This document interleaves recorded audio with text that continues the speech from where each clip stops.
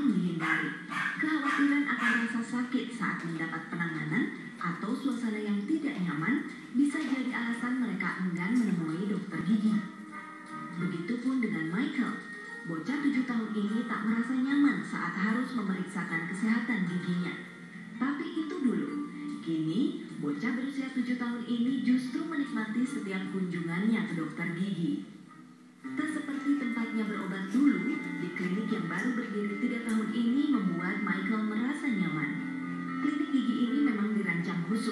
Anak-anak. Semua ruangannya dipenuhi dengan hiasan khas anak-anak. Dari ruang tunggu sampai ruang berobat, semuanya penuh dengan gambar-gambar menarik. Klinik gigi khusus anak-anak ini kita bikin karena di daerah sini Jakarta Barat terutama belum ada satu klinik gigi yang mengkhususkan anak. Michael sudah tiga kali datang ke klinik di daerah kebun jeruk ini.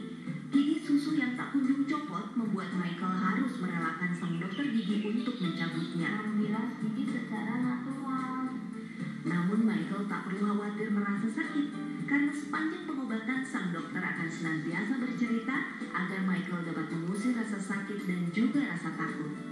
Di sini, bocah kelas 2 SD ini juga bisa sambil menonton film kartun saat sang dokter mencabut giginya.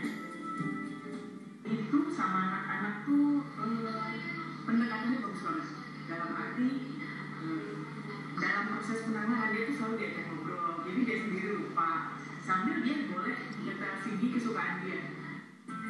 klinik yang didirikan tiga dokter spesialis gigi anak ini, setiap pasien boleh datang untuk konsultasi gratis. Mereka baru dikenakan tarif saat memang perlu penanganan medis. Tarifnya berkisar antara 100 hingga jutaan rupiah untuk setiap paket tindakan. Untuk menjadi pasien di klinik gigi ini, setiap pasien harus membuat perjanjian terlebih dulu. Karenanya, setiap hari pasien selalu memenuhi klinik gigi anak ini. Selain perawatan dan pengobatan gigi, di klinik ini juga tersedia pelayanan khusus pemasangan kawat gigi. Selesai sudah, kini Michael bisa tenang karena gigi permanennya bisa tumbuh tanpa dihalangi kehadiran si gigi susu ini. Di klinik ini selalu disediakan hadiah untuk pasien yang berhasil melewati proses pengobatan gigi tanpa menangis, dan Michael pun berhasil mendapatkannya. Jika sebagian orang tak mau balik lagi ke dokter Michael malah berharap dapat kembali ke sini.